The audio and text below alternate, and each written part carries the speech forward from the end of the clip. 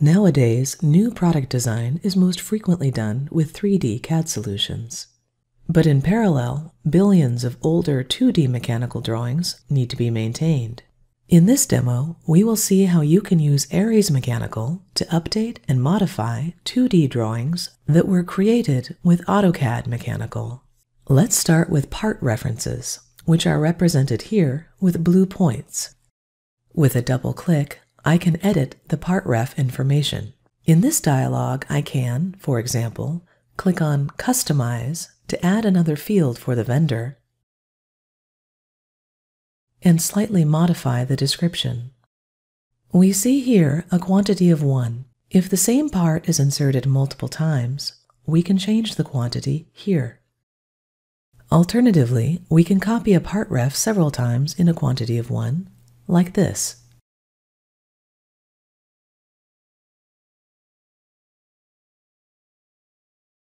Now we see the quantity of 4 in the parts list and the description we modified. When I select the part ref again, I see that the data can also be read and edited from there. In the next demo, we will see how we can add other standard parts from our library. But for now, let me show you that we can also make a part ref from any entity. Let's say I need to add some silicone to protect the head of this screw from water. Here, I am designing a polyline that I will turn into a spline. Next, I select to create a part reference. Note that I could also create one from a block. We insert the part ref and add a name and description. Now, let's take a look at the BOM feature. I validate by pressing Enter to select the main one. To begin with, I see some elements in blue. If I fly over with the cursor, you will see that it is highlighting data that is overridden. In some cases, there is a good reason. For instance, our drawing follows the DIN standard, and this part was shown with ISO reference, so we entered the DIN equivalent.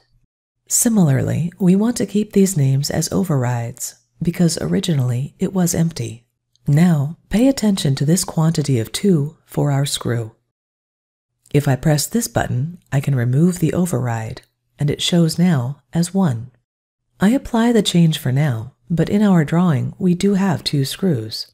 Yet, only one part reference is inserted. To fix the quantity, I open the part ref and increase to 2. Now, our BOM is showing the right value. To continue, I can also insert an item directly inside the BOM. For example, I am adding the painting that I will need. Inserting items like this is typically useful when no part ref can be linked.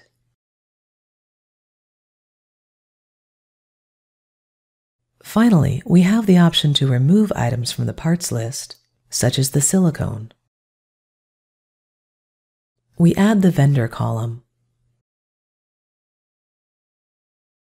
Now that our BOM is well configured, let's take a deeper look at the parts list.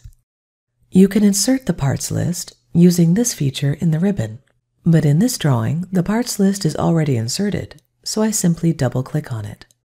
To begin with, I will insert the name and vendor columns that I see are missing. Note that I can only insert columns for fields enabled in the part reference dialog.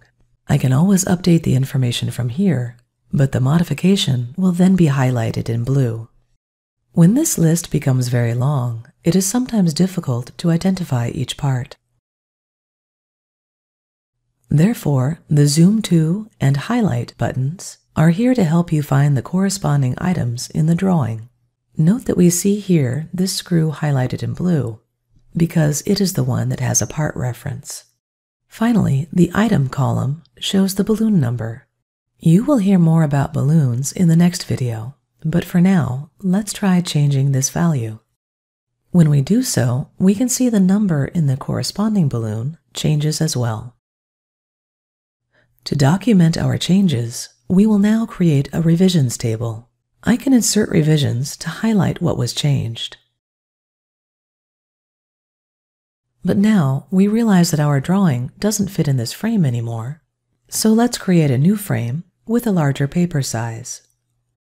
Frames are also mechanical entities following the standard we are working on. The frame includes a title block with attributes that I can update.